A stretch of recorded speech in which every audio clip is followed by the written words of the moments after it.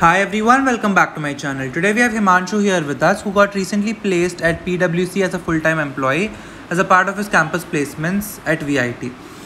So today he's here to share his interview experience with us. As we all know, PwC is a part of the Big Four and it is a company that offers business advisory services such as auditing, accounting, taxation, strategy management, and human resource consulting services. So let's look at the eligibility criteria for this company. Uh, all BTech branch students with a CGPA of 6 or 60% in 10th and 12th, as well as in the pursuing degree with no standing arrears, were eligible for this role. So now let's go ahead and talk to Himanshu. Hi Himanshu. Uh, firstly, welcome to my channel and congratulations on your placement. Thank you, thank you, Jishnu. Uh, so, would you like to introduce yourself? Yeah, sure. So, hi guys, my name is Himanshu Singh Baghel. I am a fourth year undergrad pursuing my electronics and computer engineering in Vellore Institute of Technology, Chennai. And recently I have got a super dream offer in VIT from PwC. Okay. Okay. Thank you for introducing yourself. You can now tell us about the placement process, how many rounds were there, and what they comprised of. Sure, sure. So, coming to rounds, one thing is that they are long. Okay. So, my process started at 9.30 in the morning Hmm. and till the time I was over with the HR, it was already 8 in the night. oh, okay. The thing is, we had to be there on the meet all the time because Hmm. they were giving updates regularly. Hmm. But the, the one thing that surprised me was that it was very well managed. Okay. So like results were coming soon and people were not getting, they used to tell them like very soon so that Hmm. they don't have to wait for entire process to end. Right. So that is what I really liked about it. Hmm. Uh, so there are three rounds. The first is uh, like I'll say four rounds actually. Okay. First is the test. Hmm. So in test, more than 4,500 people applied, Okay. And out out of which 425 were shortlisted. Okay. So four, 625, my bad. Okay. Okay. And then those 625, they divided it into technological consultant and risk consultant Okay. based on their profile. Huh. So I feel that I had a cybersecurity, uh, like information security, I did in my subject coursework. Okay. So for that reason, I was put in risk consulting and associate, Okay. and maybe that's why because I Hmm. that was the the differentiation. Hmm. They were they were told that they're looking resume very well, like they are going through it, and according to that, they're dividing. Okay. So my interview was on 12th September. Okay. So then when the shortlist student came, so finally for my role there were 200 students. Okay. So the first round was basically normal round, like Hmm. interview type, Hmm. where you talk to a guy and he may ask you technical question, he doesn't. So they divided panel and like everyone who was going before interview, I was asking him how is it, like what's happening. Uh-huh. So they were asking a lot of technical questions and everything. Hmm. So like okay, this is going to be technical a Hmm. bit. So I Hmm. started revising my concepts and everything. Hmm.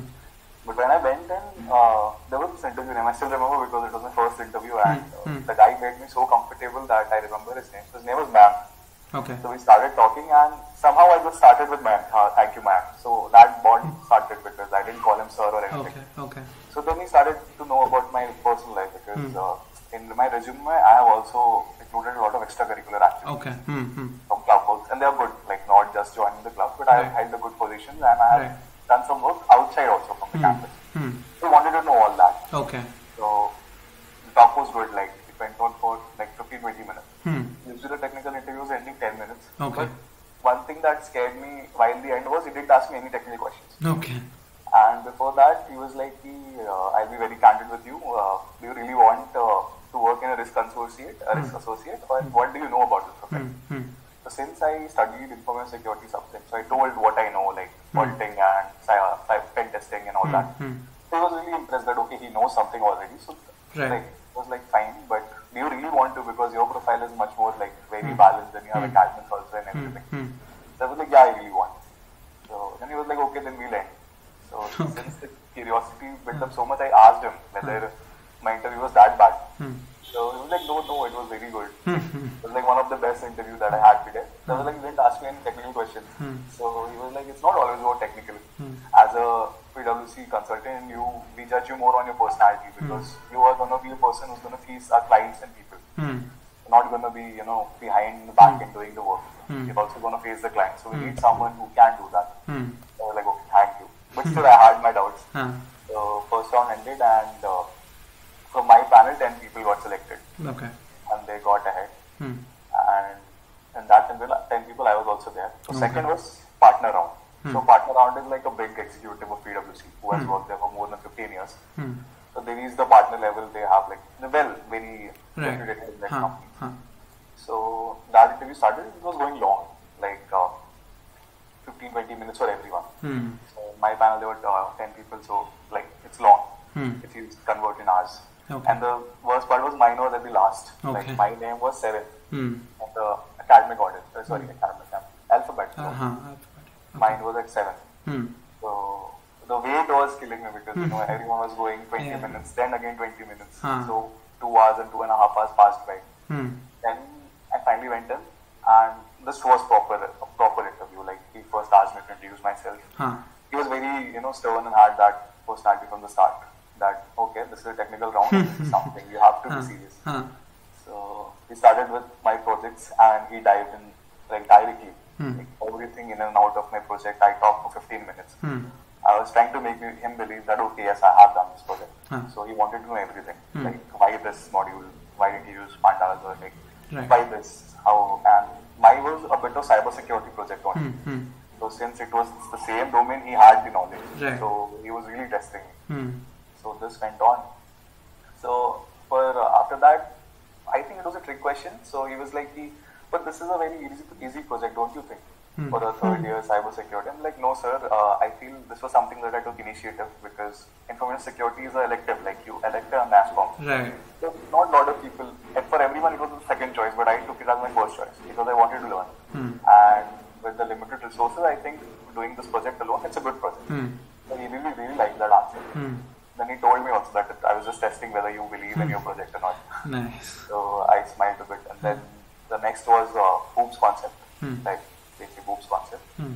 Then very simple SQL query, Hmm. uh, max minimum. And then, uh, like for interview question, no, he only asked me one question, and that too I didn't have to code. Just wanted to know the algorithm, what I'm thinking. Okay. Huh. So it was like to select the, just to delete the highest node of a tree Okay. in the list. Okay. So it was okay, okay. So.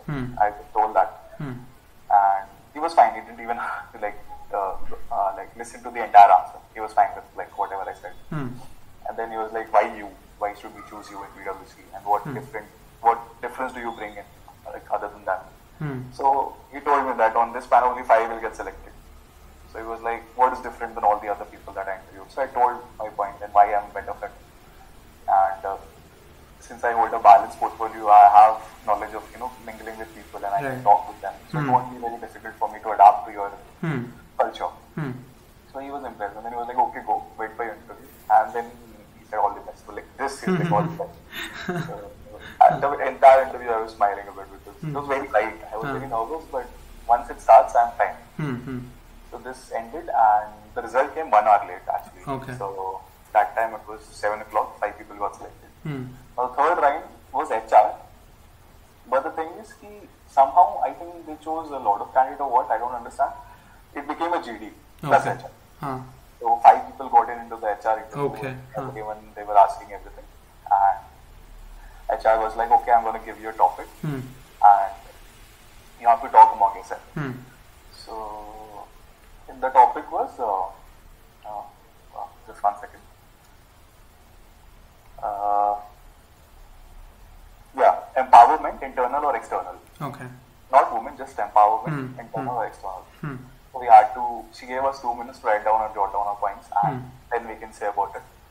So we got our two minutes and as soon as the, she said, okay, this is gonna, like, now you have to start. Hmm. Like, everyone just wanted to rush. Yeah, yeah. That's what I noticed. Like, Huh. you know, people already started speaking. Right. So one guy, he was like, I just, uh, like, I didn't say anything. I was waiting for my turn. So Hmm. four of the guys started speaking and then ma'am has said, like, okay, you say. Right. So he told all the points. And the second guy came, he told all the points. He recited a poem also. I don't know so he got a poem also. Then finally my turn came, so I told everything. Hmm. And then other guy. So she was impressed, and then she asked uh, specifically questions to three of us. Okay. Like, for me, I told on women empowerment because uh, I told her that I feel that since as a family, if we see everything starts from a woman, Hmm. mother when she teaches a child, it goes and like you know, Hmm. The family man has same Hmm. perspective towards the world and whatever he or she has been taught, Hmm. and then they will carry on that. So I think it's the mom that you know make a generation. Hmm. So I think women empowerment should be the one to talk. So that is what. And I also contradicted a few people's point. Like Hmm. one of the guy was like, everyone here are talking only about women empowerment, but should be self empowerment also and. But I was like, you can't run away from sensitive topic, right? Hmm. At this field, like this is I I told him like on the directly that this is like running from a sensitive topic. Hmm. So, like that. And after that, she asked clear first question that how will I bring change, like more people, more women candidates in my college. So I explained about the STAR program which I read, like in VIT's site, that they help backward class students to come and like you know Hmm. have a education and Hmm. Hmm. So I told about that, and I also told that uh, I think that would be a good if seats and like you know Right. more women on the board.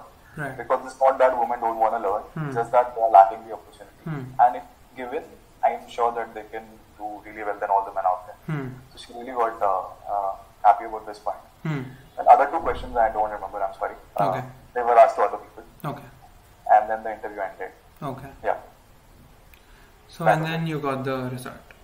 Uh, next two day, next day. Okay. Okay. Uh, thanks for sharing your experience and yeah, thanks for uh, sharing your experience. And do you have any suggestions for people who want to get into good companies or PwC if Uh, anything you have specific? Yeah, I'll say that uh, sometimes you have to be company specific. Hmm. What I saw in many people was they were applying in like all the things that are Hmm. coming. Hmm. It's good if you want to get a chance, but Hmm. I feel that you should. Every company has a different profile. Hmm. So what I did was a target preparation. Okay. So I also was uh, like I also searched for interview experience in Geek for Geeks and all, and I learned from that. So I knew that okay, in partner rounds they Hmm. ask for uh, technical uh, like answers, theory Right, answers, right. like OOPS concept and everything. So Hmm. I printed out materials and I studied everything before Hmm. that. Hmm. And I also understood that in DSA they don't go very deep, Hmm. but they go deep in certain topics, which is array list and like array list Hmm. and stack. Okay. Not not stack also, but array and big list are their favorite topics Hmm. PwC. So that is what I did. I Okay. improved on them, Hmm. and the similar question came again. Hmm. So that was a bonus. And yeah, like even if you are trying or like you know getting the project from somewhere, Hmm. it's better that you make on your own. Yeah. Uh, take help, but make on your own. But if you're getting, just know everything about the project. Hmm. You have to be totally like you know associated with everything Hmm. that is happening in your project. Function, everything. What is it doing? Hmm. Sometimes they even say like, uh, I would like like to add this point that one of the guys he told that they told him to share the screen and show the project. Oh, okay. So that was something. So Hmm. that didn't happen to me, but yeah, they were asking like that. So you have to be prepared for everything. Okay. Hmm. Yeah. And one of the last thing, it's not academic, but I'll say that uh, you know keep the people close who motivate you in some way Right. because placement is very overwhelming. Hmm. And I, uh, it's my personal thing that I stopped uh, opening LinkedIn for two three weeks because everyone was posting something and you know you are happy for them. Yeah. But again, that feeling comes that okay, when will my, Right. you know, when will I get it? Hmm. Because time is going Right. and all that. So that is an overwhelming feeling, but Hmm. the people who were close to me always motivated me. Hmm. And I think that was the reason that helped me to keep myself believing. Okay. And for anything, you have to have confidence and communication skills. You should be very able to, you know, express what you're thinking on your Right. mind. Right. Because even if you're thinking diamond in your mind and when you're speaking something as a like normal stone, that won't help. you. Correct. So be crystal clear with your lines and thoughts. Hmm. Explain them, and even if you don't know the answer, Hmm. just tell them. Hmm. Don't try to waste that time because that is what frustrates them more. Right. So yeah, that's all. I Okay. would like. Yeah. Okay. Thanks again for sharing your experience and for the suggestions. So yeah, thank you. Thank you for having me.